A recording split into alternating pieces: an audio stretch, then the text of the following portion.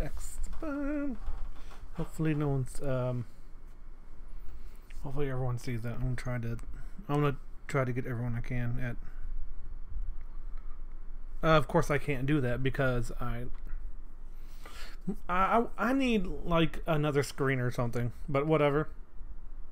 Um oh I need my water if I'm gonna do this for a long time. Oh no. Oh no. So yeah. Oh no, I forgot to change the title. Oh no, I'll be. Mm, I forgot. I apologize. I need to change that title. I forgot about the title. I was so enamored.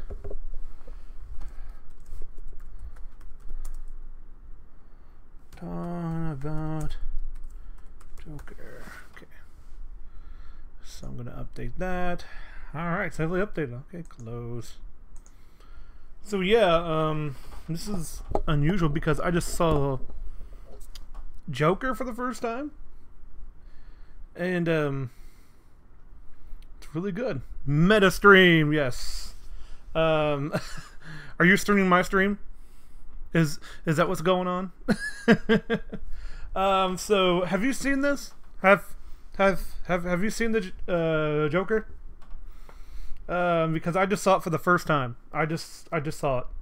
So while it's fresh in my mind, I want to kind of go over it a little bit, talk about it while you're streaming. Okay, that's fine. I don't care. That's fine. So I just um, so I just saw the Joker. I want to um, so spoiler away. well, um, I'm kind of going to talk about the whole thing. Because, uh, uh, but here's the thing, like, if, if you've never seen it, it's very, um, oh, man.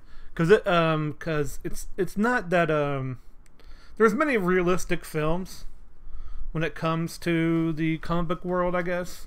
This is definitely a comic book movie. It is set in a universe that is Gotham City, but it's very grounded when it comes to that city because um, if you ever seen pics of like really downtown cities that have a big crime problem, this is what it looks like. Especially during the, um, it takes place during like sort of the Reagan era, sort of thing where they started cutting um, social programs and it stars uh, Arthur Fleck, which is uh, by Joaquin Phoenix. I, I, I, don't know how to say it. I apologize. And um, the um, and so and the beginning of the film actually it start because uh, the the film was presented like like it would be back then. Like it is a callback to the older films in the early 80s and the late 70s. Um, definitely has that feel. Uh, where um, so they're definitely going for a more artistic and grounded movie. Uh, you have that sense right away because uh, they don't use any of the film grain sort of thing like in um, what was that uh, that double movie by Quentin Tarantino, um, the Planet Terror and um, and the other one Grindhouse. Yeah, it, it doesn't have that Grindhouse uh, thing going on. Uh, so it, it doesn't have that uh, that sort of feel, but still, Quentin Tarantino is really good. Like uh, Inglourious Basterds is one of my favorite movies. It is so freaking good. But uh, it has, but it definitely has that feel, but it doesn't have the grain. So you're having this sort of like uh, view of Gotham City Gotham City is a crap hole, as said on the radio by the uh, by the radio man, and um, and it, they're talking about how like um, they're they're they're cutting all the benefits to the lower class, uh, social services, government projects, and um, and Arthur Fleck, the the the main character, I guess you call him the protagonist. He's uh he he's working as a sign spinner. If you ever seen those sign spinners like outside of banks or uh, outside of restaurants. They will spin the signs, and they say, "Hey, come on in," uh, to create traffic. And uh, this place is going out of business, and Arthur Fleck is actually doing a really, really good job. Like, Ar- uh, Arthur Fleck is like, like he is like he's he's doing like Harlem Globetrotter tricks with it. Like he's spinning it with his fingers, and I'm like, dude, that's pretty good. Like he's really good at it. Like he's not like, um, and he's and, and he's really enjoying it. Like he has a genuine smile on his face. Like he's seems like this normal person doing his job and having fun with it because he's dressed as a clown. Because um, he works for a agency which uh, hires clowns. Um, the, I mean, they they literally sign people up to um, to advertise for other people or to um, you know do charities. You know, and like that's a totally realistic thing to do. You know, like um, for example, uh, later on he gets hired to um, to go to the children's hospital and uh, you know and go for the sick. You know, and he really enjoys it. But these uh, kids, they steal a sign. If you watch the trailer, the kids steal a sign, and that happens like in the first five minutes. You know, it's a uh, uh, it's a really bad scene for him because um, he he runs after him. Was like, "Hey, that's my property," and he tells people to stop him, but these people could not care less about what is going on. He crosses the street, and these kids um, they sneak attack him by, by by hitting with the sign as he runs by. Then they just beat him up, and they're like, "Well, why would they do that? Well, because they probably b- betray kids who probably live in an impoverished neighborhood. You know, uh, they're just being kids. You know, they, they don't need a reason to do something bad. You know, that's the thing about kids in movies nowadays, or even like kids in general. Like they're so sweet and innocent, and like no, they're not. They're little monsters. They're just honest about it. They don't need a reason. They don't think through it. They just do things, you know. But it is kind of interesting that like they'll say like he says like beat him up, and I'm like, uh, I'm like I'm not okay. Like I I get it that kids are mean and cruel, but like I don't know. It just seems interesting that the kid would go back and tell him to beat him up, and I'm like, why? You took his sign. You had your fun. Okay, sure. Like, but they're they're doing it because the they probably have nothing better to do. They could have been in school. They're probably um, either it's the weekend or school's been cut or something like that. I don't know. It's it's very interesting. And then he comes he comes back and um, and so uh, so so the people who are uh, who hired him or or or the agency said um, what happened to the sign? We need that sign. Um, and so the reason why Arthur was really going after the um, um, going after the kids is because uh, that sign comes out of his paycheck. And you see that later on when they complain. It's like, hey, that uh, that sign was ours, like, and uh, you need to reimburse us. And uh, and they're like, okay, so it so it came out of his paycheck. He gets yelled at, you know, any, um, and the the people around him seem to enjoy his company. Like he's not like bad or anything. And then like um he goes home and he's on the subway trying to make a little a little kid laugh and he does, but the mother is like, "Don't you dare talk to him." Like and he's like and he starts to laugh. You know, it's like, "You think this is funny?" And so um he gets this card that's covered in plastic and it says like I have a neurological disorder. Um, he laughs whenever he sort of has tension or uh, or, or or or something like that. You know, and uh, so he's like, okay, he's like he he he apologizes and he's trying to say like no, and he keeps laughing and he can't help it. And so I so the famous stairs right right there. It reminds me of the Exorcist stairs, and like there's a long stairway that's famous now like there's another another stairwell, you know. And so when he goes up the stairs, he has his head down, and I'm like, okay, I I I get what you're laying down, movie, because like you see. He has his head down going up the stairs because it's a struggle for him to go up those stairs because he's had a bad day. You know, so going up the stairs means that um he's not happy because the life is like the stairs. You know, you have to have to climb it, and there's no reward for climbing it. Like it, it it's some kind of like um, the sort of like it's the, the stairs kind of represent depression, sort of. It, it's it's it's like um, it's his life that now he has to climb it, and I'm like, oh okay, because later on, if you've ever seen anything from the Joker, like from that picture, um, he um he has the suit on and he's dancing. I'm like, yeah, that's him actually being happy. He is over it. Like he's dancing on top of the stairs and he's going down the stairs, um, which also represents him not um not being normal or um he's he he's over the normal part of society. Um, so he goes down, but he's also but he's happy he's going down the stairs. You know, like it's it's it's easier.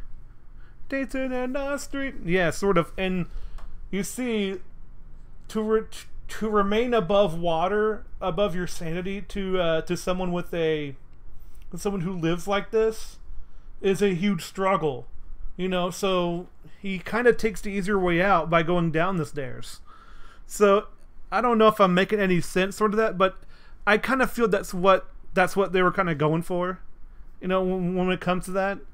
And so um, he goes home to his to, to his mom, and uh, he, he he lives with his mom, and um, which is because like she has nowhere else to go. She's kind of off because like uh, he checks the mail every day because he uh, her mom tells him to because the we need a mail from uh, Thomas Wayne. He was like, I used to work for them. He was like, okay, I'll I'll check the mail, mom. You know, kind of begrudgingly, and there's nothing ever there. You know, and she says she writes them, but I don't know if she really does. And so they watch this. Um, the uh, I forget what the what the show is called, but they they watch pretty much like a um a late night talk show, which was um in downtown Gotham, which stars Robert De Niro on there. But he's not called Robert De Niro, but it is Robert De Niro, and he tells jokes and does all this stuff, pretty much typical talk talk show stuff. And so Arthur imagines being in the audience, and he laughs, and and he's like who's that up in the audience? You know, like uh, turn on the lights. And so uh, they turn on the lights and say, "You there." You're there in the stands, you know, because it's obviously he's kind of imagining it, but I don't know. It's it could be a memory. Rip show starring not Robert De Niro, not starring Robert De Niro. Yeah, um, save that for later. and so um, he was like, he said, "Come on down." Like he lives with his mom is like, I used to my mom, my mom until I made it. You know, pretty much like picturing as the same guy. And so, like, he's imagining that, like, they're there together and they're having a good time. Like, it's almost like a, um, a father figure, sort of. Like a, like, he, he idolizes his talk show host. And, and it's like, okay, so if I just make it on there in the audience, to see him, maybe I'll be recognized as as as somebody. You know, because you learn also later on that he wants to be an aspiring stand-up comedian uh be because of all that because he thinks he's really funny and uh and so very much so like um they talk about how the garbage is piling up on the streets and you see it because there's uh there's like garbage in the streets piled up like six feet to seven feet high. Like it is insane. how high these garbage bags get. And these are black garbage bags, trash, and it's everywhere. And they're talking about like they've seen super rats. And I'm like, oh my gosh, like Gotham is in the toilet. But when you look at the rich people, they have it pretty good, you know? It, uh, yeah. Oh yeah, yeah, yeah. That's what I. That's what I was kind of saying. Actually, um, it's in Chicago, and I'm like, eh, pretty much the same thing. New York City, yeah, because it's like, yeah, because like, um, I was on Imagine that too because that's a very real thing, you know, that I've seen in like, um, pictures of downtown areas that are trashy. You know, I'm like, geez, man, this this this place is terrible. uh, so um, and so she uh he goes to see this therapist, and that's where he gets his medication from. He takes like seven kinds of medication, is what you're, you're told. It's to keep his um neurological disorder like from from popping up all the time, or to probably to keep him sane in this like because uh, mental um, it's sort of like right now the the mental um, stress it causes the people makes them go nuts and uh, and the city has reached a boiling point which is why the political commentary of the film actually does really work because of the it kind of reflects what's kind of going on right now because um, people are losing their jobs their um, the the government funding is being sliced in half, and um, and and people are stressing out, and they don't get the medication they need, and um, depression is on the rise, you know. So, but you can tell that so, something's gonna go wrong in, in the city real soon, and they even see that on the news, the radios, and all that stuff. Like it's it's gonna boil over soon. You know, it's only a matter of time. And um, and so he goes to this therapist who um, tells him that we can't see each other anymore. I'm probably skipping one because he has a journal. Uh, it's like he didn't bring a journal. He's like I put my jokes in the journal, all that stuff, and I put my disturbing stuff also in the journal. You know, and uh, I think that's one of the main reasons that his his form of comedy that, that that he uses in the film is so disturbing because uh, he crosses the pages of jokes and the disturbing stuff. It kind of crosses paths in his journal, and uh, I don't know if his mind can make up the difference. You know, and that's and that's one of the reasons I think why he has that medication. You know, and um, and so it's pretty much less. Uh, so the psychiatrist later on says we need to cut. They're cutting funding, which means I can't see you anymore and she is living in the bottom of a basement. Like you can see the street level outside her window, I think, and uh, and she is surrounded by paper, like major amounts of papers everywhere, and um, you, and you can tell she is over, um, overworked, like um, and being inside of social services, um, myself um, it, it it's not that bad nowadays, but uh, I can kind of tell. I'm like, wow, look at all those government papers. I've seen, uh, I've seen a office like that where it talked about the government, uh, but not that bad, and as depicted in this movie, you know. And then she breaks down and said, "Listen, Arthur, they don't care about me, and they and they don't care about you." like just do the best you can and she and like it's obvious they don't care about them it's it's obvious by the way they um and she is and because she's correct because all i do is look at the office and look look at how arthur lives and all this stuff because it is terrible where where they live they live in like in a two room apartment with two people even that's too much like it is insane that, and he takes care of his mom too, because she can't take care of herself. So he has to get a job. He has to uh, pay the rent. He has to do all the stuff, and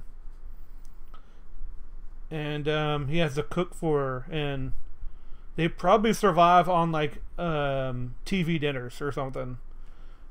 Cause man, um, even like his mom admits that he has no he has no um, muscle, and yeah, you see his bones all the time. It is creepy. Like um, he'll stretch, and you can see his rib cage. It is like I don't want to see that. But yeah, um,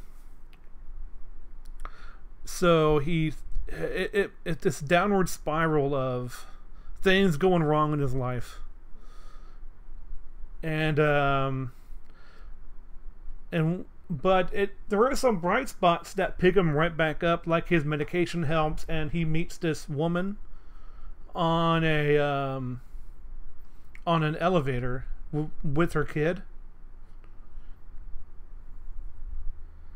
And um and they sort of like they don't exactly hit it off, but they're like, I understand. And it's like all, all all this stuff, and um, so and so as they continue to see each other and talk to each other, and um, it is kind of interesting because they have these really odd conversations. And that kind of and that kind of makes sense later, but it's really odd. Like he talks, uh, he uh, jokes about like people dying. It's like, and she kind of agrees, and I'm like, um, what? I'm like, because some of the disturbing thoughts could have leak out, and I'm like, why is she laughing at that? I'm like, this is so weird. Like their their relationship is really really weird,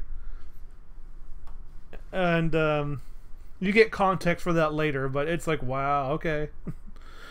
uh, I guess some people are weird together, or they're trying to find sanity with each other. Because hey, some people got fetishes. sure. so um so he gets fired from his job because um, a guy from work gets Arthur a gun to defend himself because he got beat up by the kids earlier.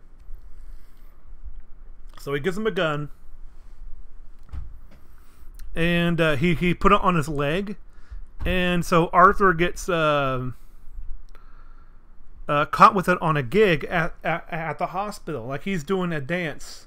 If if you're happy and you know it, and he stomps his feet against the ground, and the gun falls out in the middle of his act. and so he gets chewed out. And he says he gets fired over the phone. And he realized that his friend said, "Yeah, I I didn't give it to him. He he asked me for it. In fact, he wanted money." So his friend sold him out. And um so he he always takes the um, not it's not the subway. It's more like the L train. You know, it's above ground. You know, because it's uh, again it's Chicago. If you ever seen trains plays on automobiles or uh, where they have the train and they're on top, you know, uh, that's pretty much what it looks like. It's it's definitely above ground train. If you ever seen Blues Brothers, it's like that as well or if you ever seen any any movie with Chicago, yeah, you know what I'm talking about. So, so he takes that home or whatever, and it keeps going out on, on certain certain times. You know, the, the lights go out, and he sees that this woman is being harassed by these um, Wayne Enterprises employees who are drunk. I mean, they are like wasted, and they start to well, her, first they're uh, they're like, "Hey, you you want to get together and all that stuff?" Yeah, and she's like, "No," and then just like, "You want this fry?" Like, "No," and so they start to mess with her a little bit more, and uh, they start to laugh at like w- w- what they're doing because they're drunk. You know, they not, they're not thinking straight, and Arthur's like a tick goes off where he laughs uncontrollably. And they're like, You think something's funny? Huh? And they go to bother him instead because they got their attention and he's still laughing. And they starts to sing like bring in the clowns. Like bring in the clowns, you know. And and so it all comes to a head, you know, because we all know as audience members that he has a gun. You know, and he's pushed and the boiling point for Arthur after all this bad stuff is happening to him, you know, and not being able to get his medication now because he's being cut from government programs, it starts to come to a head. Like he can't handle it anymore. So he defends himself by getting the gun and and shooting the the two people. And the third one, because there's three of them, he runs. He runs for his life as Arthur co- contemplated what he did, because he's in the moment and he doesn't know what to do. He doesn't know that he shouldn't do it anymore or whatever. But he's just had enough. He has a look on his face like I need to make sure that I don't get caught doing this. And so the other two are self defense. You, you could say are self defense, but the next one is murder because he fires at someone fleeing from him on the steps, you know, of this of, of, of the subway station. He's like, and he fires a couple more times. So yeah, that's that's murder, and that's you know, and he and he wastes all of the and wastes all the bullets on him, on this one person. Um, in fact, he's on this he's on this adrenaline kick, and he goes and goes into this bathroom, and after the adrenaline runs off, he realizes that all that power he had, that he never had before, made him feel so good. He starts to creepily dance in this really disgusting bathroom and I'm like, oh my gosh, like it's, uh. And by the way, this movie, wonderfully shot. Like it's, you can tell they used that money to actually get like good shots. Um, there's not really any sort of like good. Um, there's some special effects that I'm like, hmm, like I don't know if I believe that, but um, you, you'd have to be paying close, close attention if to catch it, though. It's like, hmm. But it passes by so quick. Like, yeah, sure, okay. And so um, he starts to just like get on this um, high about what he he does and how he's trying to justify now what he does in his own mind. It's definitely something like. Uh, now this is kind of turned into an interesting character study of Arthur Fleck. And so um, I don't quite remember all the stuff that happens, but most of the stuff with the good stuff happens with this with this girl. And in fact, he's so he is so successful. I mean, he's not successful, but he feels so good um, and so this woman that he meets with this little girl lives in the same apartment building. It has been so nice to so nice to him. He he goes um he goes to her door, knocks on it, and then like and then like when she opens the door, he's like, I'm I'm just gonna make out. and I'm like, uh, okay.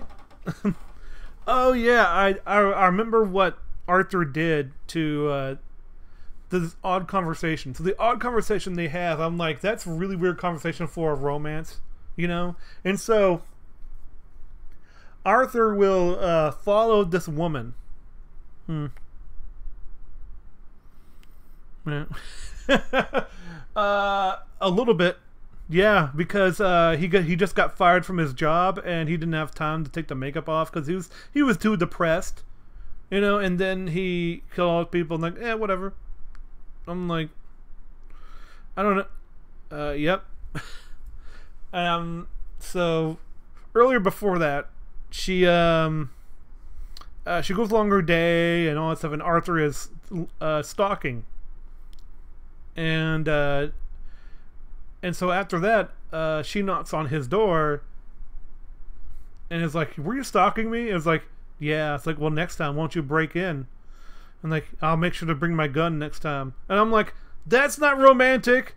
That's creepy." I'm like, like what? I'm like, what kind of conversation is that? She's a psycho. Yeah, she's a psycho too. Yeah, which goes into later on of of what happens. So, um, so pretty much like um, the as as Thomas Wayne is on the TV, he starts to uh, call people who um who do this clowns. You know, the people who are like um they they, they heard like someone wearing clown makeup or something and so they're like yeah the, the people who do this are clowns and so these people who are at the boiling point of resisting society took that as a power word pretty much. And they're saying like oh yeah you think we're clowns? We're gonna be clowns. And so people are wearing clown masks now. And they're starting protests in the city you know they're and um and they use that sort of as their power you know like they they turn that um very negative word into a a, a movement for themselves it now becomes their power you know um and arthur doesn't see that as a bad thing really he's like i like this i feel like i'm important now you know and um even tells people I'm like people are now paying attention to me. And and I like that.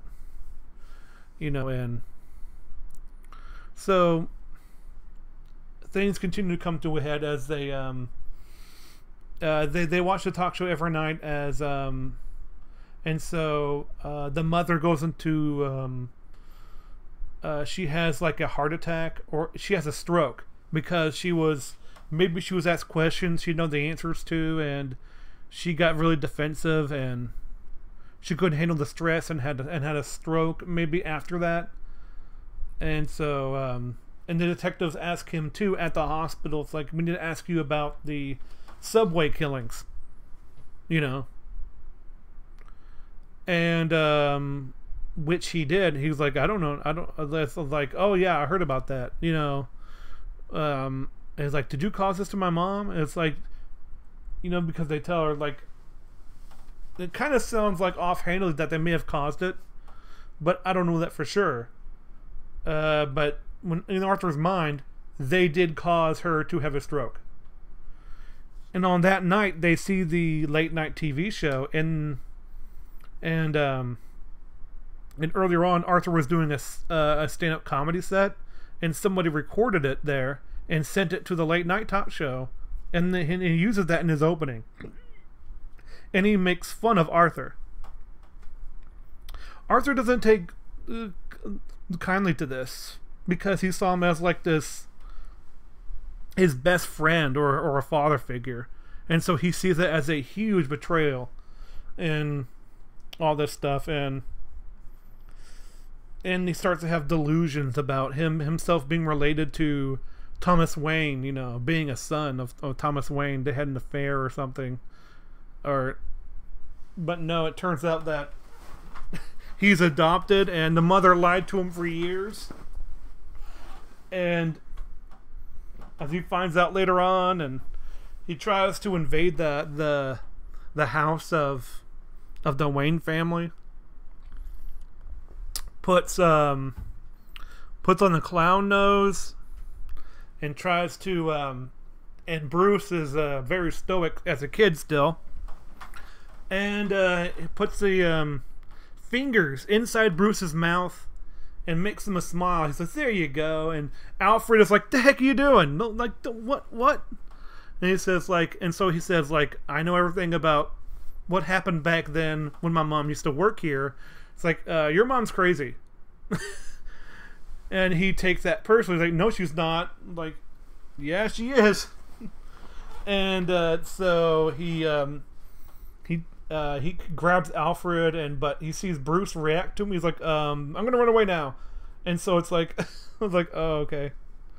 So it's a again like he's he is very un- unraveling as a human being because all these he's trying to figure out who he is and he doesn't know who he is so he used to think he was a someone's son he turns out he's not he thought he was thomas wayne's son. Turns out he's not. He thought he was a stand-up comedian. Turns out that he's not very good at it. So what is he? You know is you know who who is he? He's trying to figure this out as his life is just life. The city goes downhill like really fast at this point. And um and when um he going to uh, approach him again there was this big protest at the uh, um at a at a movie theater that that they go to. And and so somehow Arthur gets um, there's an altercation, so Arthur uses it as an opportunity to get inside the uh, get inside the theater, and he puts on a costume so he's not known right away, and um, it's a what do you call it? Those um, uh, it's not butler, it's a um, usher. It's one of those old-fashioned usher like uh, costumes and so he, he goes around and you know he starts to watch the movie he starts to enjoy it it's the charlie chaplin movie so i'm like oh okay so he's a it's, it's this huge uh, comedy thing everybody's laughing you know it's it's a very civil place it's a very clean place too. Like it is um i don't know if it's a theater for rich people. I, I have no idea but man it is really really spiffy. Like it looks like um something from the original Bioshock or something like it's like wow okay. Except it's not um it's like the Bioshock Infinite um, DLC if you ever seen that it's like wow this place looks great like um and so um of of Rapture anyway and um so uh, when when Thomas Wayne goes to the bathroom he uh Arthur confronts him. He's like, I need to talk to you. Like, I think I'm your son. It's like, no, he's not your son. Your mother's crazy. and like, stop saying my mom's crazy. And so like, um, he punches Arthur in the face. He's like, stay away from my son, or I'll kill you. Because uh, last time they met, um, he put their fingers inside Bruce Wayne's. Uh, you know, and probably heard that from Alfred. Like, he came to the house. Like, you don't do that. like which is kind of funny. I've heard like uh, people say he gets punched for no reason, and I'm like, what are you talking about? Yeah, what? Like that's not legit criticism of the movie because like he comes to the door, puts hands on like um inside your son's mouth, manhandles your um through a gate of your butler, which is trying to protect your son, and then you act crazy saying this saying, uh, you know, my son, and please have some compassion. Uh, yeah, he sh- you should be arrested, but no, he punched you in the he punched he punched him in the face, and I'm like, no, that's not legit criticism. Stop it.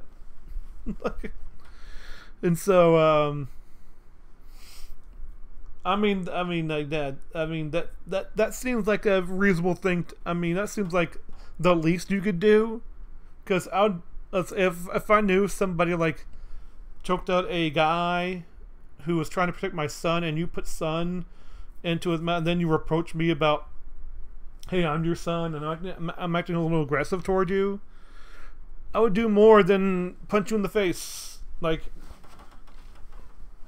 like, I, I don't get it. So, I don't get the whole like, why they punch him in the face? It's unrealistic. I'm like, no, it's it's the least he could have done. So, anyways, um, so after that, uh, he gets called. Um, he he kind of like it's kind of interesting because um, there's a nice shot when he's leaning against the bathroom when he after he gets punched, uh, which is a nice bathroom, and then it shows him at home in the same position, like in this in the same shot, it just goes boom, and like that's oh man, that's real good cinematography and the the the way to use a the way to use a camera. And so he learns about all the things that happened to him. And he decides that life is what he makes of it.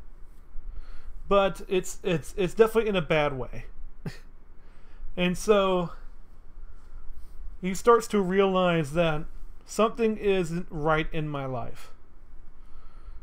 And so I need to do something about it. So um, he gets the paperwork, which finds out that he was um, he was adopted,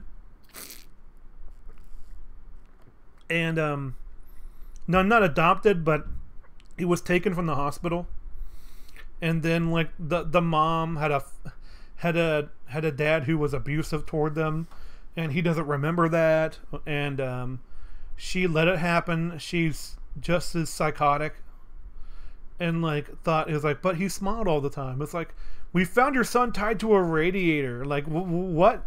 like so he must have blocked that out, and so he has this psychotic breakdown um, in his head, and he realizes that that woman that he was talking to was never really there.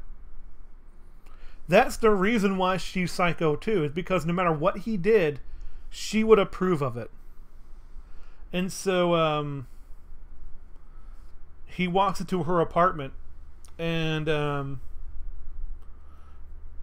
and he's like, My daughter's my, my, my daughter's in the other room. And so he turns around and is like does what she, what she did before, which was holding uh, fingers to her, like a gun to her head, and goes boom, you know, and like, and so he does that back, and and now realizes that that you're you're not real, like, and so I don't know if if she's not real, or if that she, he liked her so much that he pretended that she, they like each other or like I don't know. It could be either or because some of those interactions have to be someone real because how can you walk into someone else's apartment and um or you know and asking questions like that and because uh, she was there uh, at the mother like um comforting uh, arthur at the hospital like she gave him a kiss on the head and then later on, when he walks into her apartment and realizes that she's not real, she says, How is your mother? And I'm like, You should know. She's at the hospital where you were there. Looks like she's not real in some of the points that in some points in in the movie. So it's just his delusions. I wonder if his imagination about, you know, being together with this woman. So I think that's it, though. So, because I think the whole stalking thing was real. I think, like, you know, a stalking and I liked it thing was not real. You know, so that would make a lot more sense to me than the whole thing's not real. So, it's just like him when he fantasizes about certain things about his life. Um, like, he pretends he's on the talk show and all that stuff. So, we're coming to another break point in his life. Uh, basically, when he just realizes that if I'm going to be nobody, I'm going to take control of my own life, but in a very not in a good way. Because the first thing he does, like, mom used to tell me that hmm, that um, life life is a tragedy. Well, life is a tragedy. It's my life is a comedy and he takes the pillow from beneath uh, her her head and pretty much uh, suffocates his mom. And here's the thing about that scene: it really disturbed me because um, they show the body afterwards, and I'm like, that looks like a dead body that I would recognize. Like if I, oh my gosh, that's uh, you know, it's um, I've seen a lot of sort of uh, dead bodies in my lifetime, and I'm like, oh, jeez, that that that kind of struck personal. Um, so that that that really got me. I was like disturbing because of I recognize what a dead body looks like. I guess so. It's it's it's it's it's like oh wow, that that that gave me chills.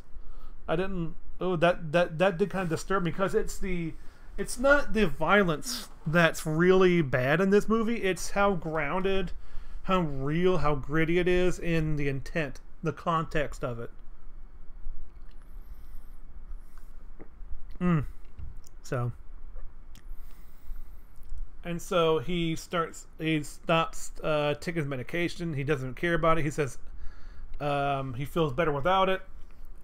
Um, and so he gets a call from the the TV show that made fun of him and like, yeah, we want to have you on the show. And he's like, heck yeah, I'll be on the show. And so there he starts to prepare for it and uh, two friends from his job come by and they see if they're better because they heard about his death. I'm like, well, let's go by and see him. And so um, the guy who betrayed him is there with this other guy who is a. They make fun of him because he's a. Well, as they call him, they call him the midget. I'm, I'm not trying to be retortive. That's a quote from the movie. And yes, he is that small. So. Uh, and so he's really good to Arthur, though. Like he's the only one that treats him with like a minimum of respect because he's the one that's like to make fun of all the time, especially if you have a disorder, you know. And so I'm not saying short of disorder. What I'm saying is, um, what I'm saying is people made fun of him, therefore he understands they're making fun of him because of, because he's different. So um, so they come by and he's like, and he, he puts and before that he put scissors in his pocket because he's dyeing his hair green. Disorderly. Oh, you're lucky no one can see that. How dare you? yeah. Well, uh, so this is the guy who framed him at work with the gun, and so pretty much what you kind of get is that he got revenge on his mom for pretty much not telling him not telling him the truth. And in, and in his mind the mom is the bad guy and so she deserves to die. So he's not above killing people at this point. Like he's killed four people so far. And so um so he gets the scissors and in the middle of talking about like what know, a job yet. All, of a sudden, like he takes this pair of scissors and puts them in the put them in his neck, and then from the neck on into his head. Yeah, five. Now it's five, and he bet. And when he's down on the floor trying to recover from what happened, like I'm sure he's like dead, but Arthur wants to double tap, and he starts aggressively slamming his head against the against the like one of the um one of the pathways in the uh, one of the door pathways in in the in, in his apartment like bam bam bam bam. I'm like jeez man.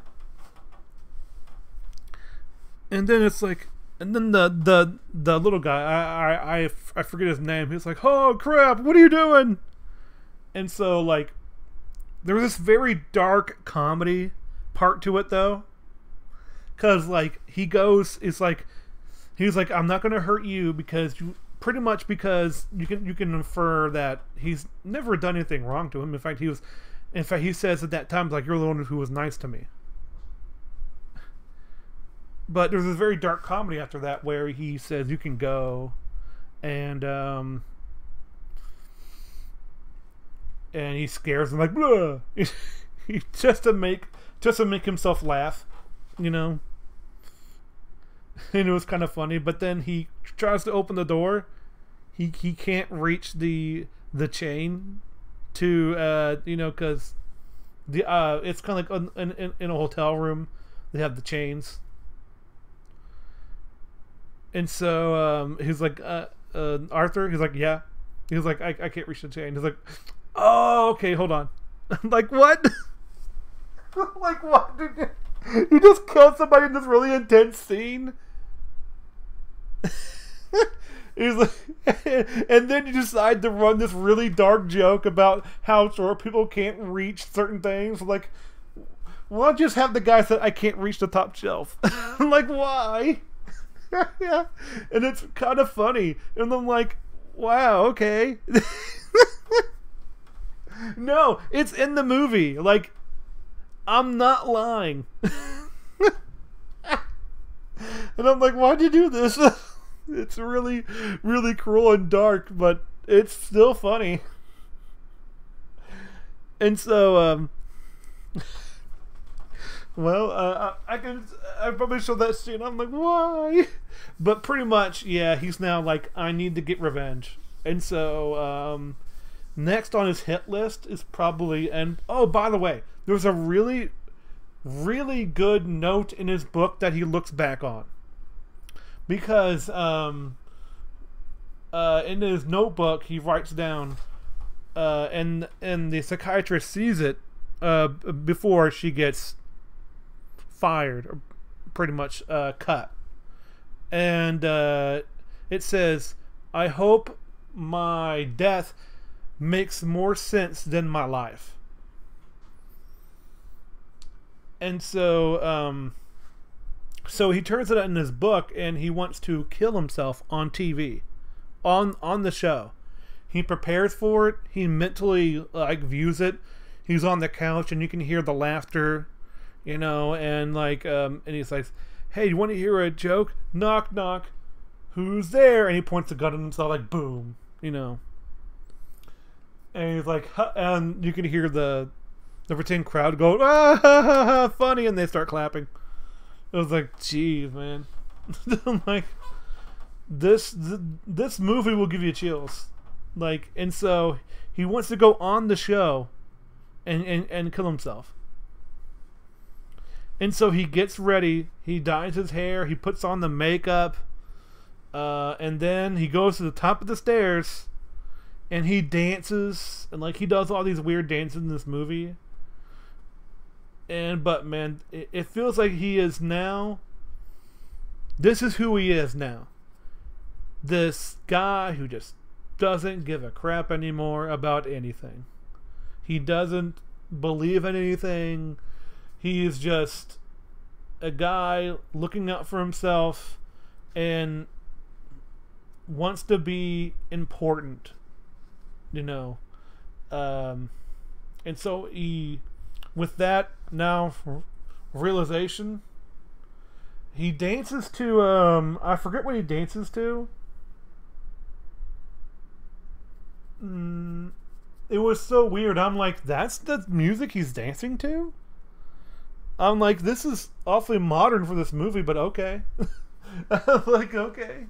It's uh, it's something from like the '80s, like hip hop era, and I'm like, what? It's it's it's like that era of like um Oh hey hey hey Molag. How's it going? Um, I'm just talking about I'm just talking about Joker because I just saw it for the first time and I'm getting to the uh, the part where he goes outside in his full costume for the first time because it actually builds up to it pretty good. Yeah. Hmm. Molag Five's been around and uh, like the music he dances to, it's sort of like um, you ever heard of um, what's uh, uh Doggo dot uh Doggo dot wave? It's that one where they do the um the begin not the but this at this end you know the and they put the dog in instead. You know. Off the Pacific Stream? Well, yeah, duh. Because uh, I just saw the Joker and I thought I'd give my thoughts on it it's kind of like in that era of hip hop, and I'm like, the rest of the movie has been classical like um, music of the time periods of the 50s and uh, all that stuff. It's very piano, but this is like 80s hip hop all of a sudden, and I'm like, okay, this is unusual, but I don't. Actually, I didn't like the music choice. The music choice in the trailer was a lot better. because uh, he is celebrating his newfound identity in this icon for the resistance and knowing he's um he is now important. And uh, he dances. He he no longer sees the stairs as something that's depressing. In fact he says i'm going to go down these stairs and i'm happy to do it. Like it's the opposite of him in the beginning of the movie where he would climb the stairs and i know i'm i did this point before but i think it's worth repeating because it's obviously the he's climbing the stairs to reach a level of normal. But he's climbing down the stairs now because he doesn't want to be that person anymore. He is walking away from being that person. And it's kind of ruined at the end by these cops and the cops who want to ask him questions about the subway murder or the L train murder. I, I don't know. I don't know about trains. I never took public transportation really. so um, I've barely taken the bus. so um, so they chase him around, and he goes to the um, and he goes inside the uh, the train station again, where there's a bunch of people dressed as clowns because they're going to a protest tonight. You know, inside the train. I took a deep dive to his uh, into his misfortune. Oh yeah, like his misfortune is like um, there are. In fact, um, one of the quotes. Uh, that's a good point, Molag. Uh, in fact, um, one of Joker's quotes from the Batman uh, animated series, which I I like and not like because it's not as good as the the Batman T T A S, but the um, the whole one quote from Joker is really good. It's like all it takes is one bad day, and it's like that's yeah, because that's pretty much what Joker like. It's kind of reversed in every iteration of Joker. Is that it was one bad day, like either by his own making or by just the world around him. Like it is, it depends on which Joker you're talking about. Because when it comes to Jack Napier, um, uh, Joker, he caused that to himself. And um, if we're talking about Arthur Fleck, it was the society and the not really society, but the world just kept going downhill, and he got and he got caught in the mudslide of of the rest of society. You know, like the psychiatrist says or the social worker says, they don't care about me, they don't care about you. I'm sorry, that's just the way life is right now. You know, and so very good sort of still staying with the comic book nature of what Joker is, but still actually having a real grounded in reality artistic movie. So, anyways, um, he takes off a um, into the subway where they're having that protest, and these people are in Joker masks and and so he decides, I'm going to lose him in the crowd. But the problem is they're all wearing masks and not makeup. So he's still in trouble from the from from, from these two uh, police officers. And uh, so he takes off a mask. He's like, "Hey, you jerk!" You know, like, and so like the other guy thought, like, "Hey, you." and so he starts a fight on the train because there was a misunderstanding. And so he he gets lost in the crowd and puts on the mask and and they're trying to tackle one of the um, they're trying to say like the the police trying to moving through with with a gun and a um in a badge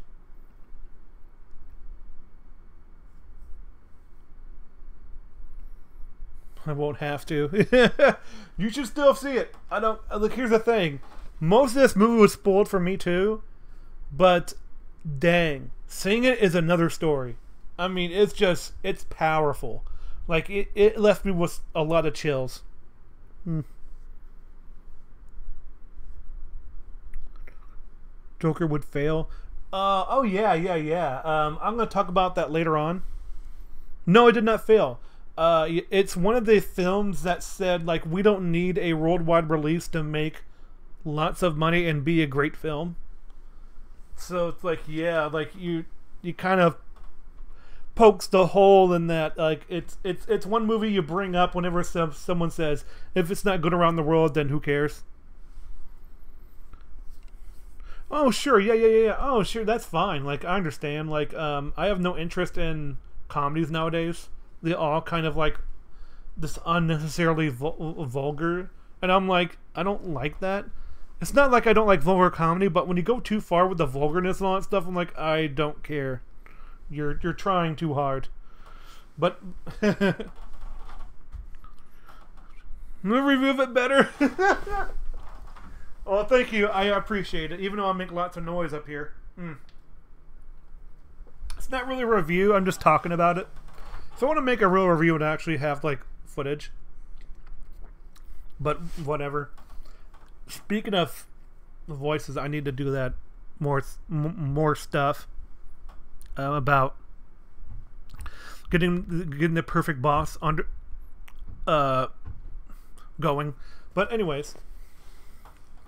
So during that whole thing, like when he's trying to the the people with the clown mask interrupt them. It's like you and you. I don't know why I said you uh, on a deep level. Oh yeah. And so it's like boom, and so someone tries to get in the way, and and out of reflex, the cop shoots one of the one of the. Uh, really one of these protest slash rioters because they are rioters at this point, and um, and so they take it as an offense, and so they and Joker just loves it.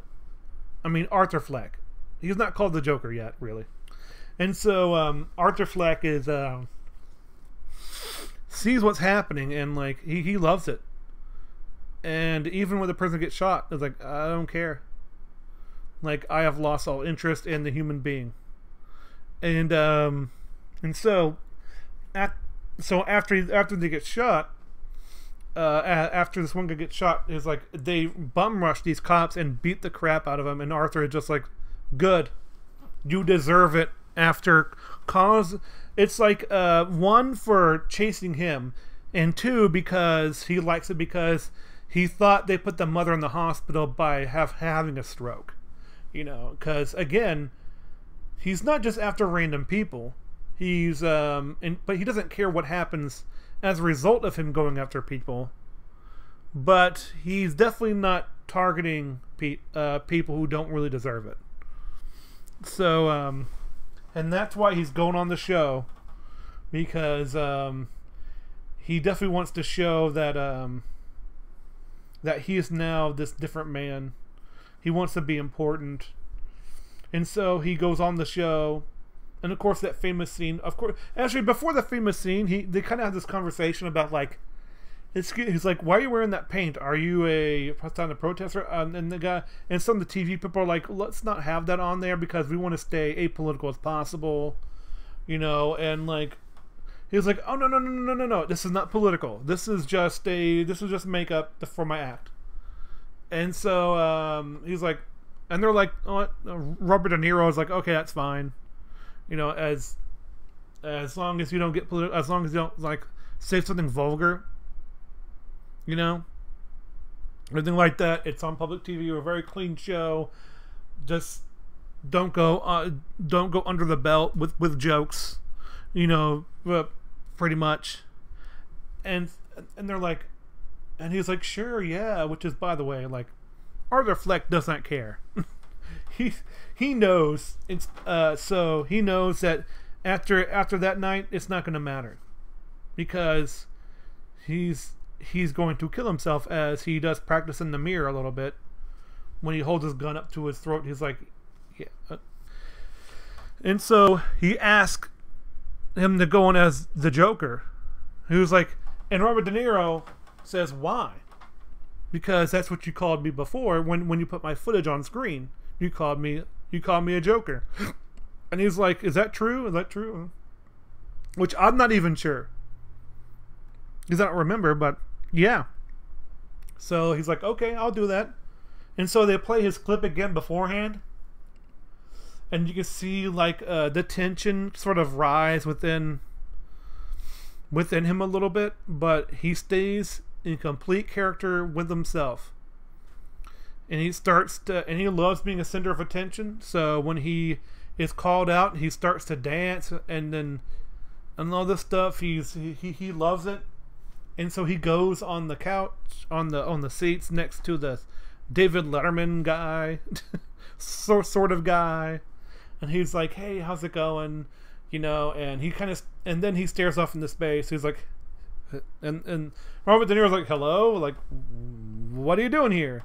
What's with the costume?" It's like, "Is that is that is that political?" It's like, "No, no, no, it's not political. I don't believe in political stuff." And he says, "I don't believe in anything." And he's like, "What does that mean?" I'm like, "So I heard you're a stand-up comedian." Blah blah blah. You know, they go through this conversation about, and he tells this really awful joke. It's uh, it's like knock knock, and he's like, "You need to look up that." he's like, because he had to look up the the the punchline or whatever, and but in that book, again, he sees the quote, I hope my death makes more sense than my life. And so he, um, and so he, he tells a knock knock joke as, as his opener. He's like, knock knock. And it's like, okay, who there? You know. And he's like, the police, your son, the police uh, mother, your son's dead. and they play the trumpet, wah, wah, and it's like that's not funny at all. It's like, and then he um, he goes on this rant about pretty much saying like people like you don't like people like me. You you people like you like kick aside us. You know, if if I were dead, you just walk over my corpse, wouldn't even care. And and he, and he confesses to um, killing the three people on the on the subway, and it has nothing to do with Jared. Eh. But anyway, yeah, he he starts to do this because, as far as you know, he's not going to survive tonight. So he might as well just confess everything. You know, it's um. Oh my! It's such a tense scene because you don't know what he's going to do. I'm like, because another thing he did that when he was dancing, it's like he was pretending that he was with that girl, and he was like, "Hey, you want to dance?" I'm like, "Do you like my dancing? You know what dancing I don't like?" And he sh- shoots the wall because he pretends that's another person trying trying to hit on her or something. It's like it's weird. So there's some apprehension. Like, what's he gonna do? Is he going to just fire randomly? Is he going to kill himself like he planned, or is he gonna, you know, kill Robert De Niro because that does enter your head? So he he does just that. He was like, "How about another joke?" It's like, it's like, man, the people who just like you are like, boom, and he he, he shoots Robert De Niro on live TV, and people like scream and rush out, and um, and the next people on the like the next people on the chair.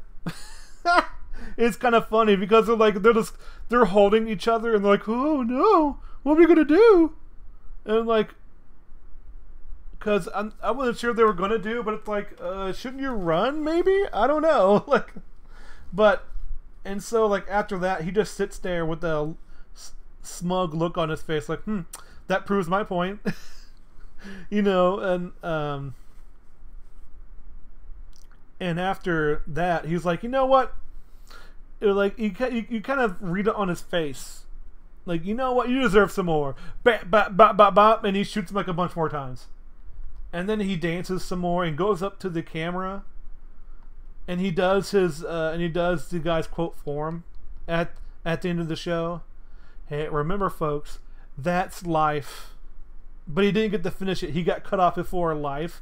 It's like, remember, that's boop, you know, and then that Indian um, circle like thing. That's the end of our broadcast day, sort of thing. and he gets spammed on the news. Like the the news is on it, and they're talking about like someone in downtown Gotham, like that's uh, the the Murray show. I, I forget his name. I think it's called the Murray show or something. It's like he got shot. I'm like, you know all this stuff and like all these stories about him and so he gets arrested of course and um, this sparks a sort of what was going on right now. It's it's uh it's, sort of interesting how a simple like murder can just spark something you know and um and so he he um he's in the count car and people are cheering him on as well as looting and doing whatever they want and uh, the cops are out there trying but they're being like overtaken you know and and Arthur Fleck is just laughing and think it's funny. And the cop's like you think this is funny? And then he gets hit. And Arthur Fleck is knocked on knocked unconscious. But what you don't know is that uh, Thomas and Martha Wayne, why'd you say that name, Martha? So, so um, they um, they getting out of the theater and they're like, and there's this riot going on, and so they decided to go through an alley because we're not going to go through those. You see, I kind of love that about this movie. It actually makes an excuse why Thomas and Martha Wayne would go through an alleyway. I've always found that really, really bad about other Batman stories. Like, why are they going down the alleyway for a shortcut? I'm like, that makes no sense. It's the city. Why would you go through an alley for a shortcut? but in this movie, it makes sense because there's a riot going on. And so, like, we're not going that way because there's rioters over there. And so they go through an alleyway to dodge the rioters. I'm like, well, that makes sense because there's nothing down there. And so, um, so this one guy recognizes Thomas Wayne, gets out a gun and shoots him, which is pretty much the the Batman how how he becomes Batman scene. And then some guy says like, "Have you have you have you seen the devil in the pale moonlight?" I'm just kidding. That that that doesn't happen. But still, it's like it makes sense. And as uh, Arthur Fleck, now called the I'll call him Joker now because that's his name now. The Joker, he comes out and unconscious, and they put him on top of a car. He wakes up and he's dancing in front of a crowd. They love him for it. And then he's laughing inside of a cage. Like, I'm not really a cage, but inside this padded room as he's sort of explaining it. I guess. You don't know if he's explaining it or if it's something that didn't happen, or is it just um is he trying to describe what happened to him in his life as this the same uh caseworker that she had is now a psychiatrist which is why I think that um people think it's a a dream or she get hired or there's many explanations to what happened there at at the end. And um and so and it's like it's like what's so funny and he's like you wouldn't get it and so he walks away with blood on his feet like and he's like, um, he has no shoes on. It's like, did you kill her? I'm like, and he starts to dance again. Like, oh, okay.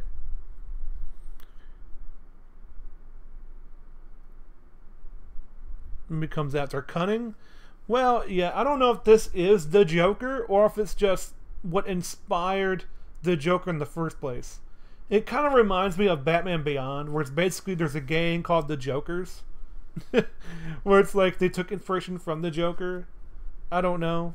I don't know. Maybe he's not cunning. Maybe he's just because this may be a different iteration of the Joker. Maybe it's not real at all. Maybe it is just a dream. Uh, because that final scene with him walking is very dreamlike. Uh, the sun shines in in the exact way. Um, he's dancing out in the hallways, and then he lets. I think he lets all this the the people out, you know, spin on it. Yeah, I don't know. It's it's very interesting uh, because you could talk about that last scene for ages, but I don't want to. Isn't that why you're here? Not really. I'm just saying, like, so yeah, about the people not wanting people to see it. Okay, I'm not gonna lie. Um, these uh, people who believe that this is an uh, this is a I don't know if they call it an incel movie. They think like it's about a white male who's oppressed. It's an incel movie. I'm like, no, it's really not. It's just a guy who got bashed down by society itself. You know, it's it's a very um, and they said like this will inspire a new shooting based off the Dark Knight. You know, so they didn't want to. So they got cops out at major theaters and nothing happened. It represents the underdog, sort of. It sort of represents the underdog. To me, it represents that um, you can make an you can make an excuse in your own head for for for for anything because um, that's pretty much what uh, all people do. Like if you lied about something, you're gonna make an excuse in your head why that lie why that lie was justified. Or if you stole something, uh, it's because you needed it. That's the justification. You know, um, I'm not saying that. You know, uh, I'm not saying uh, different people have different reasons for doing what they do. Um, it's never just um, when it comes to thinking of something, it's it's all gray. But when you make the decision, it's a black and white in the end. You know, you either do it or you don't. You know, and then the gray is making excuses. Um, so when it comes to the the way they're trying to say like, um, by the way, the Dark Knight thing wasn't even dressed as the Joker.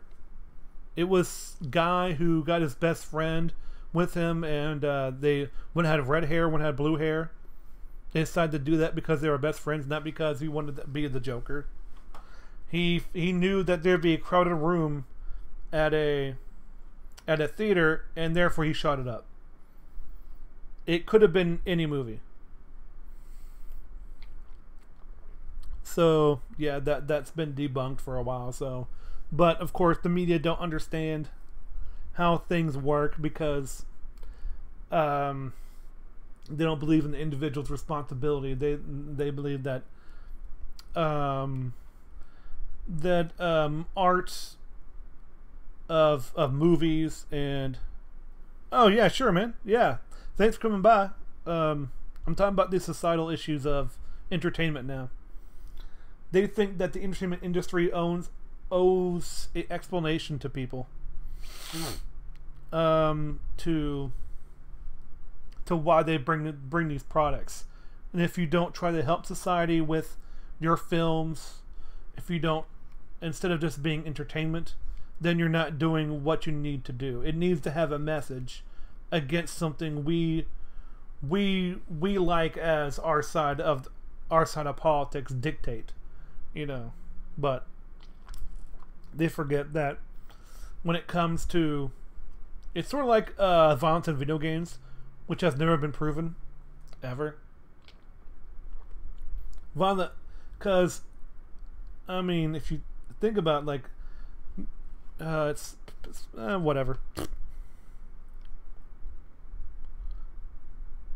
Such a logical perspective, or still, mm. I'm yeah, I'm I'm just saying that like um, when you have a an entertainment that's very dark and uh, is made for adults but it takes from a property that's made that they think is made for kids and it's a message they don't prefer it there's a wild overreaction to it because uh, they think um, if you make another kind of representation they don't like, then it needs to be not shown. Um, it, it may cause people to be violent because there's no such thing as an individual's agency to anything.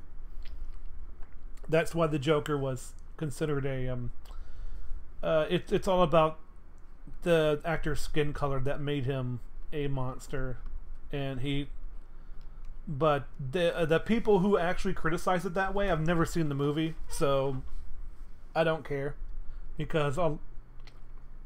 And the people who did see the movie weren't really paying attention to how like because it's the here's the thing though about the movie it's actually um against the people who would actually censor it which is which which, which is kind of interesting because um he is sort of that person you know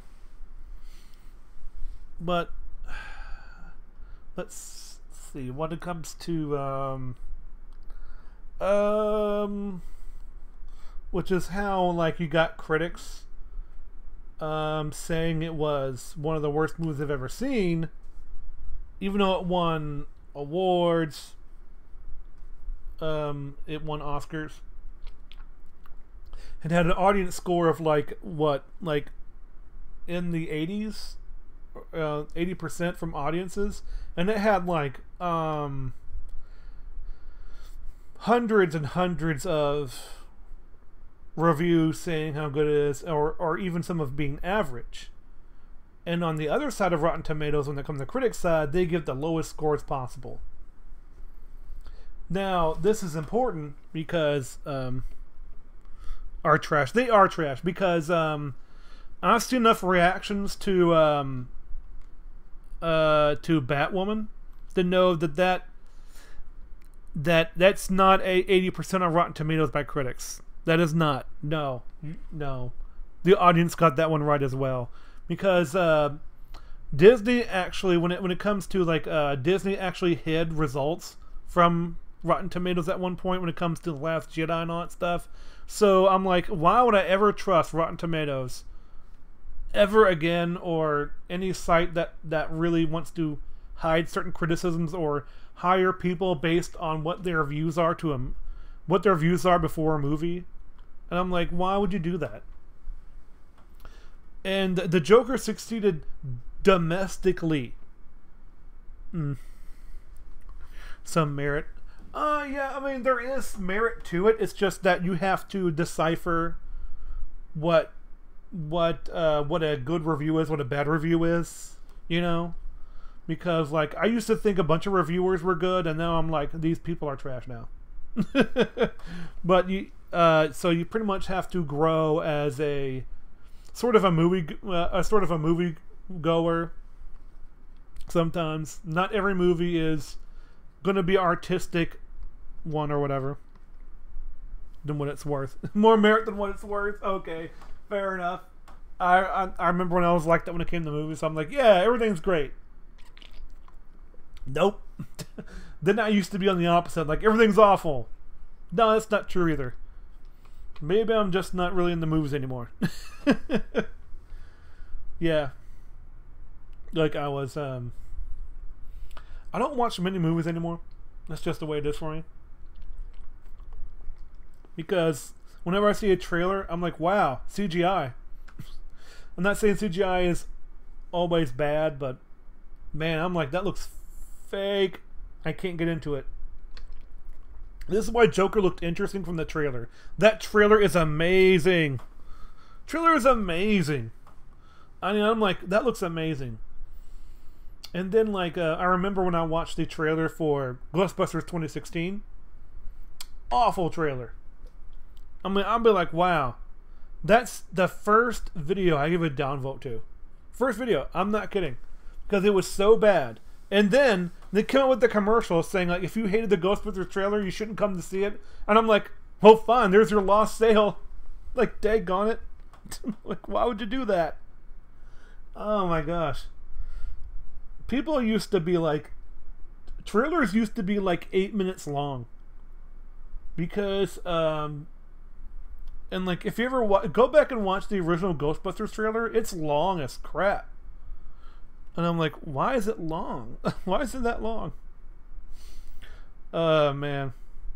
Still, Joker trailer get you hyped up like nothing.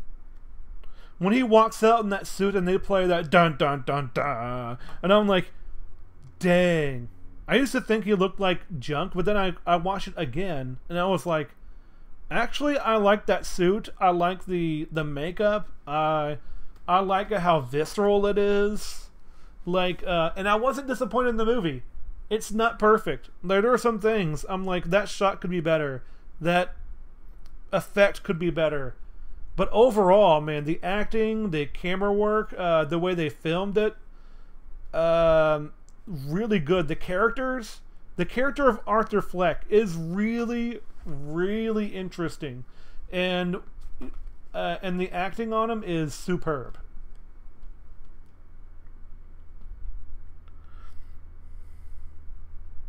Agenda to me? Oh, absolutely. Like, um, if we, uh, I watched the uh, Red Letter Media of Ghostbusters 2016, and I'm like, no wonder it was so bad because um, it wasn't because of the female cast. That's how they advertised it. You know, that's how they advertised it. That's that's that's that part of the agenda.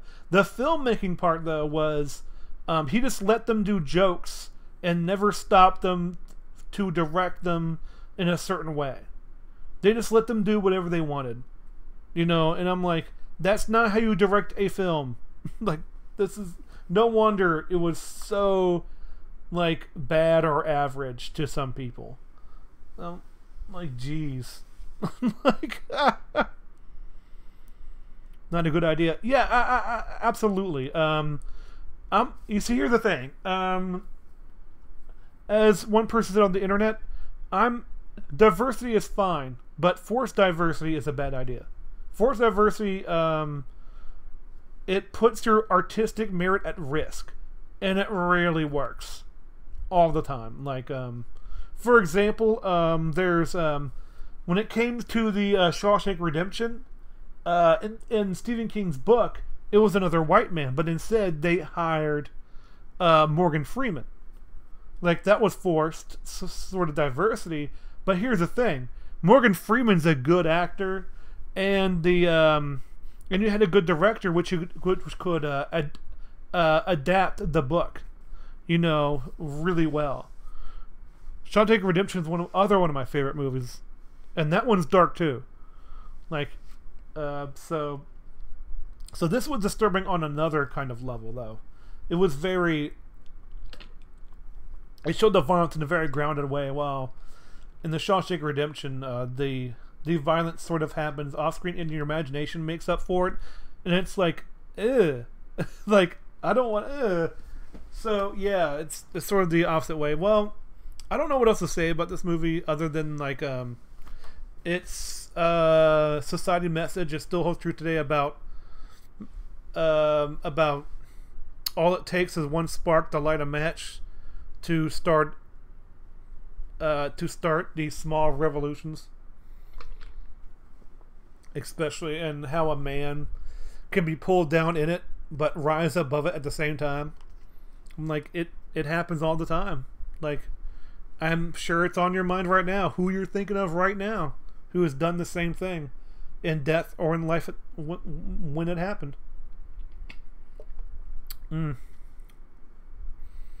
So it was uh, yeah, so I'm probably gonna say bye for now. I don't know what to say about the the the movie itself, and um, I hope I got somebody to think about the the movie or to let's enjoy the movie again, or I just watch it, and I would totally give it a recommended watch to to anyone really, because uh, it's not that bad movie that that that people want it to uh, to, uh, to be. It's not the sort of this anti left movie they want you to believe it is or it's not it's not really not anti anything. It's just really um uh they're a sort of a betrayal of what happens in a sort of society mm. okay yeah i'm, I'm glad it's kind of funny because uh, Seek was here earlier, and I got him to. Um, uh, I did this on how I did the uh, October version of this, where I talked about The Exorcist.